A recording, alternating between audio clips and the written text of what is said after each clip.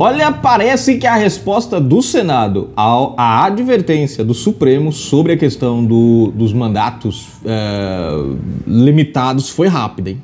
Foi rápida e veio, não, veio nem aquela, não foi nem a galope, meu amigo. Veio é, dentro de uma Ferrari, ligeiro demais. Olha só o título da matéria. Ó, Urgente, CCJ do Senado aprova PEC que limita decisões monocráticas e pedidos de vista do STF. Agora há pouco, gente, eu acabei de trazer uma matéria para vocês que o Supremo Tribunal Federal mandou um recado lá para o pessoal do Congresso dizendo o seguinte: ó, ei, vocês aí de baixo, se liga aí, menino. Não é hora de você estar mexendo aí, ó. Só para avisar para vocês, ó. Não mexe com esse negócio de mandado fixo, não mexe não, porque você sabe, vai dar problema. Aí dá problema. O Supremo mandou o um recado lá para eles, né? Você vê a interferência do Supremo querendo dizer o que o Congresso pode ou não fazer, ou tipo uma forma de alerta, tipo assim, ó, não mexe não, pô, mexe não, porque nós podemos mexer aqui em cima. Rapaz, o pessoal da, do, do Senado aqui foi ligeiro, foi ligeiro. Qual é a ação agora? O, o, o Congresso aprovou uma, passou ali na comissão da CCJ, uma PEC que ela tem como objetivo limitar as decisões monocráticas, que tem sido um problema terrível para a nossa justiça ultimamente, essas decisões. Um ministro toma a decisão e o mundo desaba. E essa questão do pedido de vistas. Esse negócio do pedido de vista. Pede o negócio e nunca mais devolve. Nunca mais para perder de vista. Pede vistas e fica a perder de vistas. Pedir vista, vocês entenderam. Bom, deixa para lá, piada besta.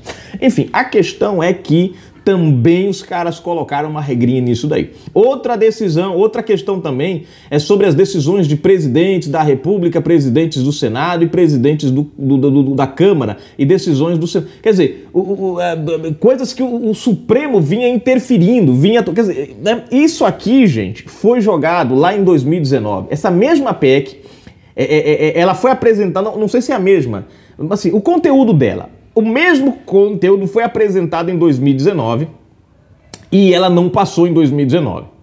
No entanto, no entanto, agora ela ganhou força e ela passou na CCJ. Uma coisa que eu falo para vocês, ó, naquele tempo lá atrás, se eles tivessem aprovado isso aqui, gente, lá já tinha sido uma, uma, uma, uma já tinha dado uma amenizada nas ações que a gente está vendo hoje. Já tinha dado uma, uma amenizada nas ações que a gente está vendo hoje do autoritarismo judicial, né? Do ativismo judicial. Né? Muitos partidos pequenininhos aí, que começa com P, termina com Sol, T, CB, essas coisas todas do B, né? Esses partidos muitas vezes perdem ações dentro, perdem é, votações dentro do Congresso e correm para o Supremo. E um ministro pega aquilo ali na relatoria, dá uma canetada, derruba tudo, faz um nó miserável e acabou Deus a só Deus. Outras ações com pautas importantes, como por exemplo, a gente vê essa questão aí da prisão em segunda instância, aquela questão do julgamento da, do habeas corpus de Lula em dezembro de 2018, o ministro vai lá estrategicamente, pede vistas para que o processo não ande naquele momento e não tenha o resultado que eles não queriam. Aí um vai e pede.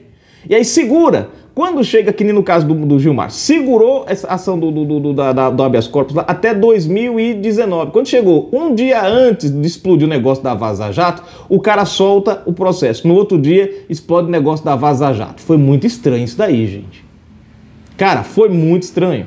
Né? Aí ele soltou o negócio lá. A prisão em segunda instância é a mesma coisa. Os caras botam o negócio, aí depois não pede vista para segurar, porque o povo tá me conta, a gente usa isso aqui como e segura. Agora vai ter tempo, vai ter prazo, vai ter regrinha, vai ter polícia, vai ter Então assim, passou na CCJ, foi uma resposta, parece ser uma resposta aí ao Supremo, parece ser uma resposta ao alerta do Supremo. A questão é, como é que o Supremo vai reagir? Isso vai dar pau, gente, senão vai dar problema. Vamos para a matéria? Se você não é inscrito no canal, se inscreve agora mesmo né? Brasil Notícias, quem está assistindo a gente nas outras, nas redes sociais, canal Brasil Notícias aqui no YouTube, põe aí, procura a gente rapidinho, se inscreve aqui embaixo, aperte o das notificações, marque a opção receber todos os vídeos. Na descrição do vídeo, você já sabe, tem chave Pix, seja um colaborador do nosso canal hgf10.msn.com. Colabore, patrocine o nosso trabalho. As nossas lives são todos os sábados às 20 horas, 30 minutinhos. Aqui o seu comentário, aí o seu comentário ganha voz, você participa da nossa live ativamente. Olha só, gente, isso foi hoje. Na manhã desta quarta-feira, 4, a Comissão de Constituição e Justiça, CCJ do Senado Federal, aprovou uma proposta de emenda à Constituição, PEC, que propõe regras para decisões tomadas por ministros do Supremo Tribunal Federal, STF. E olha só, hein? Agora o texto vai ao plenário do Senado Federal. A PEC tem o mesmo conteúdo de uma proposta rejeitada pelo plenário em 2019. Na oportunidade, o texto recebeu apoio de apenas 38 parlamentares. Eram necessários 49.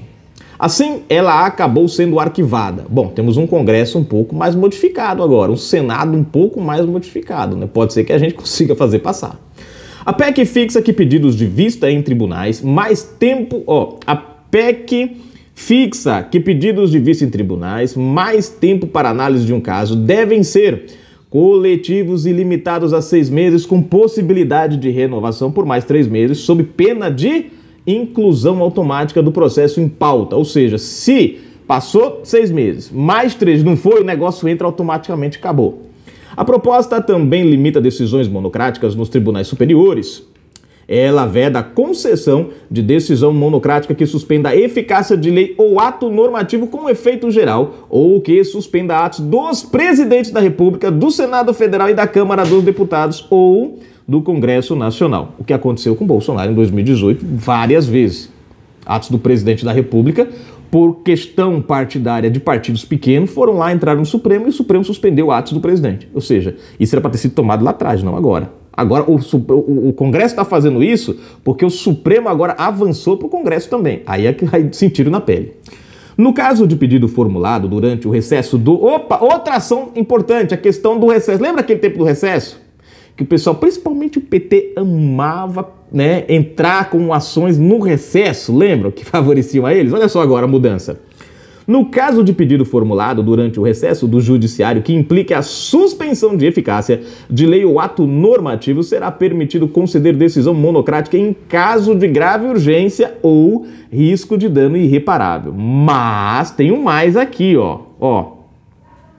Mas o tribunal deverá julgar esse caso em até 30 dias após o, a retomada dos trabalhos sob pena de perda da eficácia da decisão. Ou seja, se eles não julgarem um caso em 30 dias após a decisão após eles retornarem da decisão tomada lá pelo camarada durante o feriadão, né? Ali, é, é, o negócio perde a validade, coisa que não acontecia antes. Processos no STF que peçam a suspensão da tramitação de proposições legislativas ou que possam afetar políticas públicas ou criar despesas para qualquer poder também ficarão submetidas a essas mesmas regras.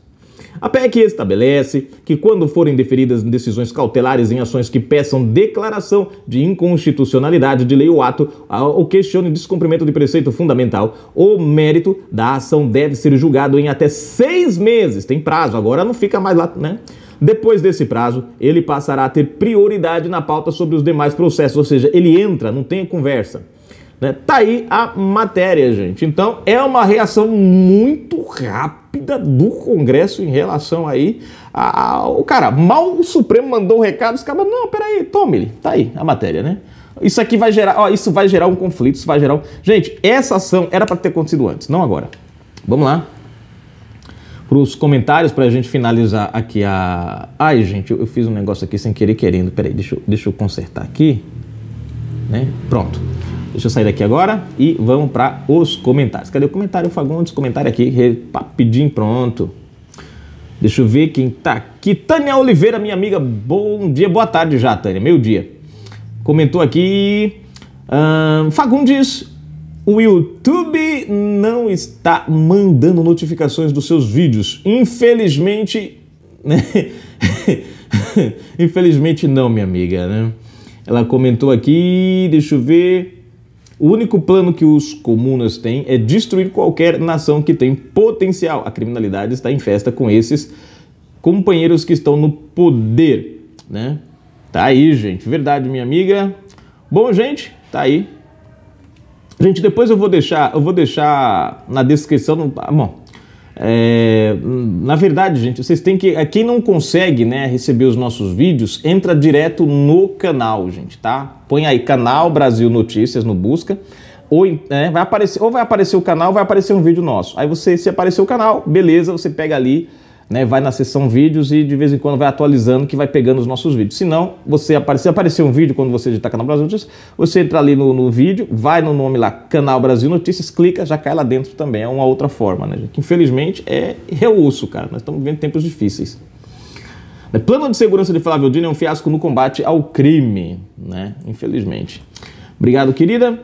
Mais um aqui. Tânia Oliveira, minha amiga. Só posso dizer para os picanheiros: façam L com força, engulam o choro e se lasquem. Bom, como dizia uma filósofo da, uma, filós, uma filosofa da Globo, o choro é livre. Não adianta reclamar. Comissão no Senado sai em defesa do trabalhador e aprova projeto que impede cobrança sindical. Tá aí, marcado. Fui, gente, um abraço.